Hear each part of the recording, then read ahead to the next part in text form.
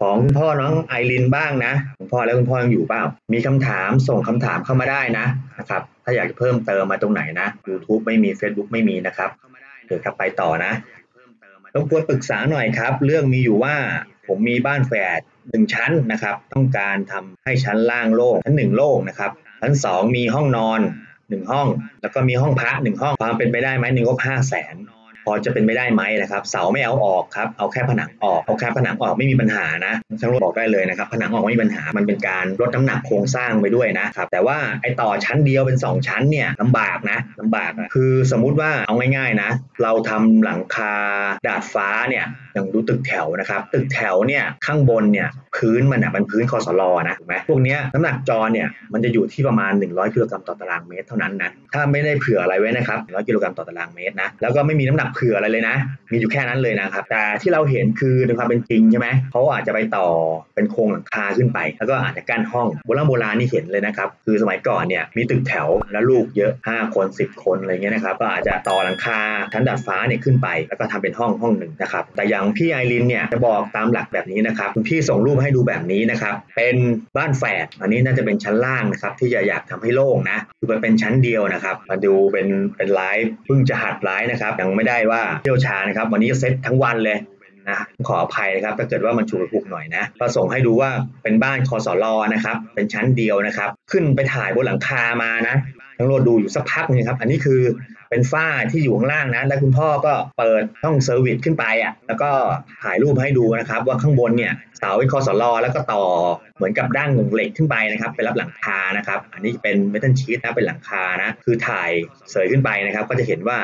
ข้างบนเป็นเมทัลชีตนะครับเป็นโครงหลังคาเมทัลชีตแบบนี้นะเหล็กน่าจะเป็นเหล็ก 12 นะครับเหล็ก DB12 ช่างโลดดูไว้สักพักนึงนะครับเป็นเหล็กข้ออ้อย 12 นะ อันนี้ก็จะเห็นว่าโดยรอบๆนะครับ ก็เห็นว่าเป็นผนังที่ก่อขึ้นมานะเขาจะก่อขึ้นมาให้เลยระดับฝ้านะครับถูกไหมครึ่งเดียวครับด้านกำแพงอะเดี๋ยวกลับไปดูรูปสักหน่อยคุณพ่อเม้นมานะครึ่งเดียวด้านกำแพงคือ ฝั่งนี้ถูกไหมด้านกำแพงด้านกำแพง ฝั่งนี้ฝั่งส้มๆนี้ใช่ไหมถ้าคุณพ่ออยู่บอกหน่อยนะด้านกำแพงนะอ๋อด้านกำแพงนี่ในรูปคือกำแพงอยู่ฝั่งนี้ข้างหลังนี่ครึ่งบ้านเลยนะเนี่ยอ่าใช่แหละ ฝั่งส้มๆพี่จะต่อฝั่งนี้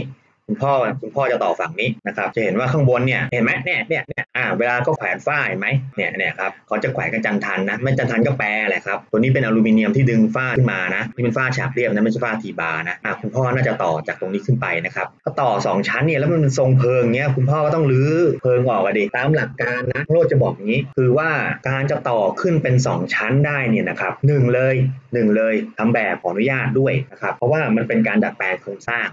นะแล้วก็ดัดแปลงหนักด้วยนะครับสองนะครับต้องหาวิศวกรมาเช็คโครงสร้างเดิมนะอันเนี้ย คือเช็คโครงสร้างเดิมไม่พอนะ วิศวกรเนี่ยต้องรับรองโครงสร้างเดิมด้วยนะอันเนี้ยงานหนักใจของวิศวกรเลยนะครับว่าการไปต่อเติมเป็น 2 ชั้นเนี่ยมันคือเป็นการไปเพิ่มโหลดนะแล้วการเช็คกลับนี่นะครับขาลากไหวไหมถึงพ่อจะบอกว่าสร้างที่ระยองบ่อวินเป็นดินแข็งแล้วนะครับแต่ว่าไอ้ดินแข็งตรงนั้นน่ะฐานลากมันเนี่ยมันจะออกแบบให้พอดีกับโครงสร้างชั้นเดียวอยู่ข้างบนนะงั้นมันจะมีขนาดหนึ่งซึ่งขนาดจะเล็ก ๆ แบบนี้อะไรอย่างเงี้ยนะ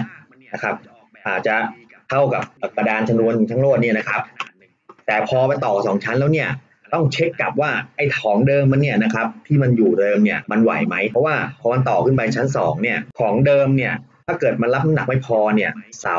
มันกดลงไปที่ฐานรากแบบนี้นะครับ มันจะเกิดการ มันจะเขาเรียกว่า punching shear ซึ่งเป็นการวิบัติที่อันตรายมากนะ มันจะทะลุลงไปเลยนะครับ มันทะลุฐานรากลงไปเลย ถ้าเกิดว่ามันรับโหลดเต็มที่แล้วเนี่ย มันจะทะลุลงไป เพราะฐานรากนี่มันบางแล้วมันหนาไม่พอนะ นี่ต้องบอกแบบนี้นะครับ แล้วถ้าเกิดว่ามีแนวทางที่จะต่อได้ไหม ก็บอกว่ามันก็มีแนวทางนะนะครับ คืออาจจะต่อเป็นโครงสร้างเหล็ก แต่ยังไงก็คือต้องวนกลับไปว่าให้วิศวกรเนี่ยที่ออกแบบบ้านของคุณพี่คุณพ่อน้องไอรินเนี่ยต้องไปตรวจสอบอะต้องไปตรวจสอบนะถ้ามาถามช่างโลดนะ ถ้าไปถามของคนอื่นเขาอาจจะบอกเอ้ยต่อได้ไม่เป็นไรแต่ช่างโลดบอกไม่ได้ช่างโลดบอกไม่ได้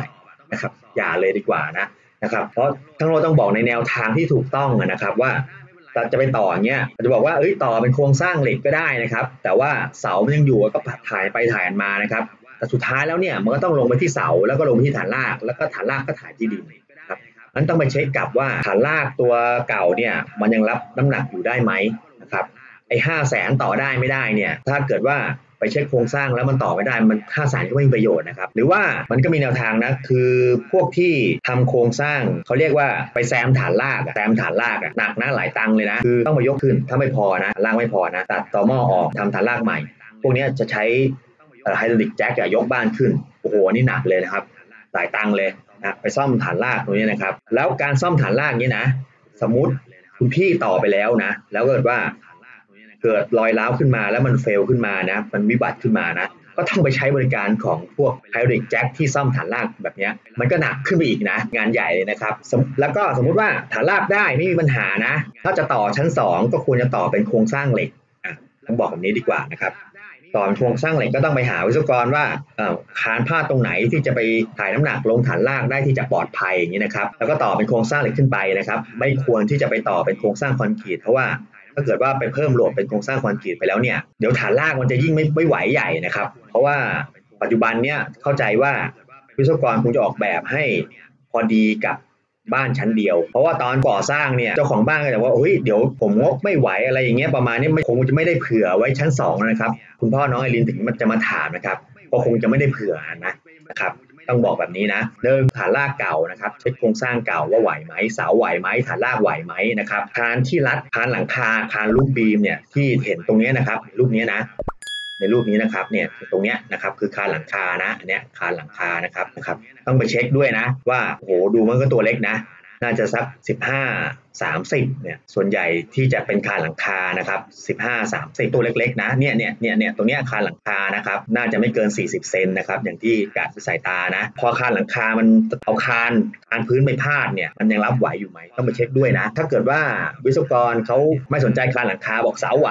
นะครับก็ทำคานใหม่เลย คานพื้นใหม่เลย แล้วก็เอาคานพื้นตัวนี้ฝากไว้ที่หัวเสานะครับแล้วก็เอาทุกอย่างเนี่ยเอาลงที่เสาให้หมดไม่ไปลงกับคานหลังคาตัวนี้นะครับ มันก็จะเป็นคานอีกพุดหนึ่งขึ้นมาวางอยู่บนหัวเสานะครับ อันนี้ก็ยังพอทำได้นะครับ น่าจะตอบคำถามคุณพ่อน้องไอรินได้ไหมนะครับ ถ้ายังสงสัยอยู่ก็ลองพิมพ์แชทถามมานะครับ คุณพ่อน้องไอรินนะ อันนี้คือตัวเนี้ยนะน่าจะเป็นบริเวณรอบๆบ้านนะครับเนี่ยตรงนี้อ่าเนี่ยครับตรงนี้คือตรงสโลปลงมาอันนี้คือตรงนี้นะอ่าตรงนี้คือตรงนี้ครับ งั้นเรื่องใหญ่นะครับถ้าฐานรากไม่ไหวก็ต้องไปแซมฐานราก อันเนี้ยเขาทำได้นะ แต่ว่าการทำเนี่ยมันต้องทำทั้งระบบเนี่ยทั้งหลังไงต้องไปยกพื้นขึ้นนะครับ แล้วก็เสริมฐานรากตรงนั้นนะให้เป็นเป็นฐานรากที่ใหญ่หน่อยนะครับ แล้วก็อาจจะเพิ่มเสาเข้าไปนะครับ แล้วรับขึ้นไปข้างบนอะไรอย่างเงี้ยมันก็ยังพอวิธีมีวิธีอะมันมีหลายวิธีนะครับ